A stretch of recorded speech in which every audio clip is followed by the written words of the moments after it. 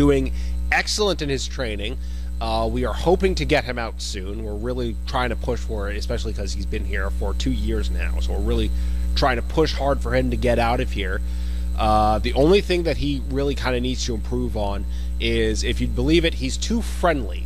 Um, I, I, believe I've mentioned it before in pr- uh, previous Meet the Dogs, but a, a, problem that he has is that when you do falls with him, uh, normally what the dog is supposed to do is go down with you and then help you back up. What Fred likes to do is he likes to go down with you and then kiss your face, which is adorable, but we cannot have that when he's working. Uh, so we've been trying to help him get over that. It, it's cer- it's certainly not the worst thing that he needs that he could ha- uh, need to improve, but it, it's definitely something we want to kind of like get squared away, smooth out, um, and of course. Once he is matched with someone, once he's starting to work with them, I'm sure as he kind of builds up a bond and trust with them a bit more, that'll start also working itself out on its own then.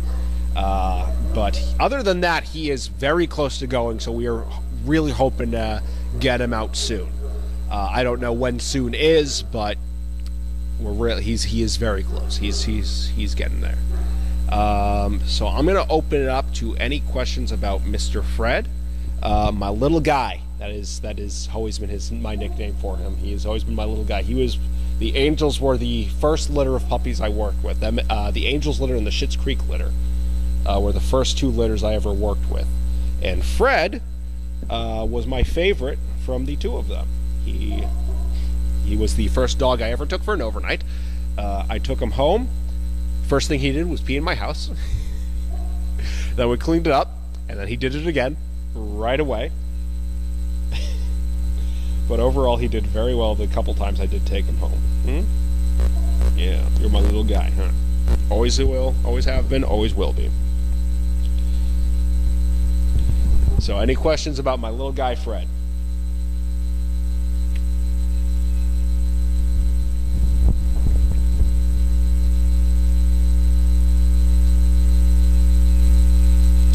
trying to think of anything else in the meantime. Uh, Fred, let's see. Fred is our social butterfly. He's our Walmart greeter. He's the friend, probably the friendliest dog we have on property. He he warms up, usually warms up to people right away.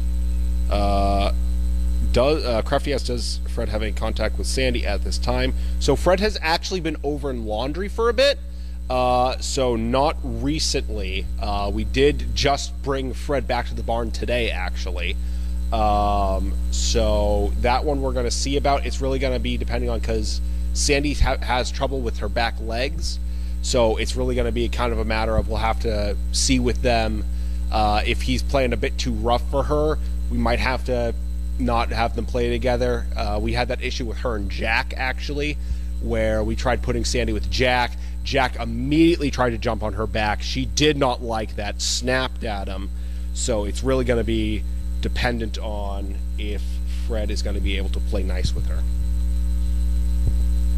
Oh, uh, Crafty says we missed the first part of the presentation due to highlights. Okay, uh, let me just give you a quick rundown.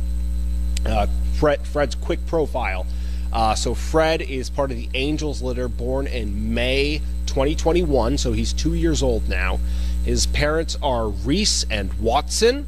Uh, he got his mother's looks, but his father's smile. Um, he eats twice a day, two and a half cups each. We have him on a little bit of a diet right now. Last time we weighed him, he was about 145 pounds. Um, so he was actually the heaviest boy in the barn. Uh, ooh, hold on, plane flying overhead. Just gonna let that pass so I can hear again. Uh, so he was the heaviest boy in the barn, uh, beating Davis out for biggest technically. Um, uh, what else? Uh, he is doing very well in his training. We're hoping to get him out very soon. Um, he does not have much left he needs to work on. Um, Crafty asks, "Do you think he will do better with a male or a female recipient?" Um, let's see. Do I think? I, I think. I think the male or female isn't going to matter too much. I think it's going to be a matter of one uh, are they going to be tall enough? Um, because Fred is definitely on the taller side, so we do need a taller person for him. So I mean, more it, it will probably be a guy, but I mean, if we can get a taller woman, that that would work too. It's also going to have to be someone who can. I wouldn't say handle him, but Fred is still a bit of a puppy at times. He he he's a little immature.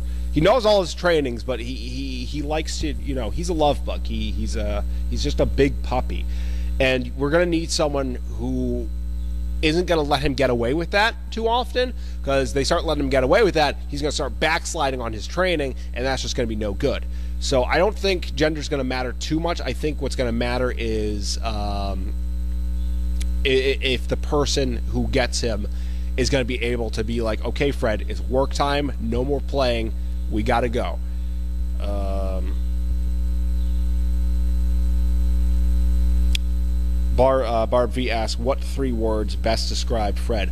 My little guy.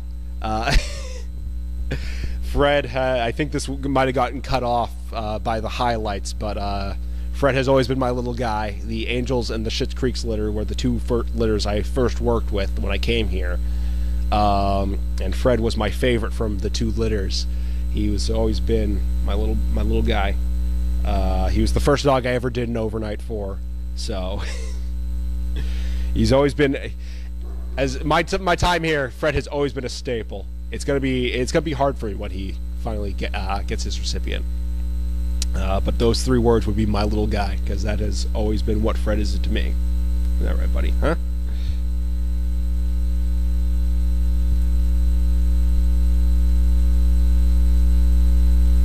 Uh, Bar V, what does he like the most? Eating.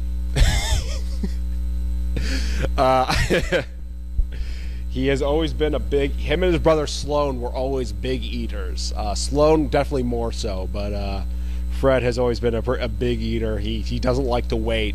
He do, he he does have the wait down pat. If I ask him to wait at the bowl, he will wait until I say okay. Uh, but you can tell he is like tensing up, ready to go.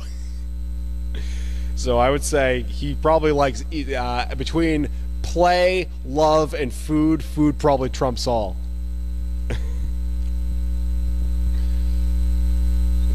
Huh? You big eater, Freddy? Yes, hello. Hello. My little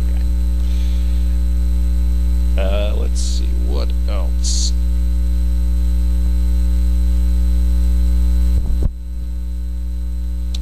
Uh, Harvey asks, does he like being in the area by the pond? If you're talking about uh, the laundry building, Honeymoon Hill, where he was until today, actually, uh, I think he did. I think he might prefer to be in the barn because there's more dogs for him to play with. But because that building is where the bathroom is out, actually, he does get a lot of people interaction, which I'm sure he loved. So I think he likes being over there. Uh, I think he's probably going to be happier being back in the barn because he's going to be with everybody else now. Um, so But we're gonna we're gonna see. Um, and I mean, with any luck, depending on the, how the search for the uh, decision process on his recipient goes, hopefully he won't be here much longer, anyways. But we'll find out. Uh, Crafty asks, "What are his favorite treats? Anything. you give this kid anything, he'll he'll he'll he'll eat it. Um, we've given him the milk bones, the Alpo snaps. Um, he'll he'll devour it all. Wet food, puppy food. He's, as I said, he is a he's a big eater. Uh, he does not really care much. I don't think he I don't think he has a favorite. Uh, I think in general the Alpo snaps, which I learned today, were discontinued several months ago, so we're not going to be able to get those anymore, unfortunately. Uh, are generally the favorite for most of the dogs in the barn because that's what they were used to for so long because that's what we always had. So I think for a lot of them, that was their favorite. Unfortunately, we're not going to be able to get those anymore. Uh, or as far as I know, we're not going to be able to get them anymore. I don't know if someone has like a hidden cache of Alpo snaps um, stored away in a bunker. All right, we're going to give it a few more minutes for any last minute questions about Mr. Fred. Huh? Boy. You're doing very well. Standing right by me, huh? Yeah, you're ready to go. I will probably cry when he goes, though. I do. It's not going to be the same without him here. He he really is such a presence in the barn. Um, I, I, I we're all very used to having him here, uh, so it's going to be very. It, it's going to be uh, it's to be tough when he's gone. It's going to be very different, and then but we'll we'll all be very happy because he has been here for a while now. Uh, so we're really pulling for him to finally get his recipient, get out there, get working, and having a place all to himself. Because he, you know what? He deserves it. He's a good boy. He's a real sweet boy. Uh, any questions about any last minute questions I should say about Mr. Fred? We'll give it another minute. Yeah. If I let go of the leash, will you just stay here? You just stay with me right here. Good boy. Yeah, there you go. I don't even need the leash for this one. Great.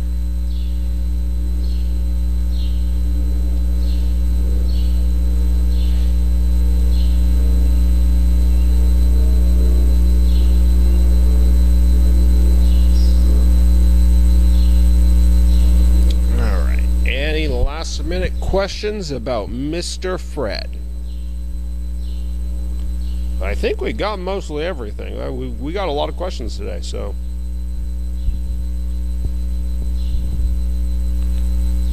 I don't know what else there is to ask, huh?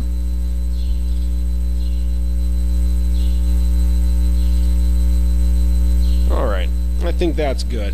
Thank you all for tuning in to meet the dog. We'll be back next week with another dog. Uh, until then, everybody have a good night. Uh, yeah and hopefully this doesn't make a loud sound when I put it down.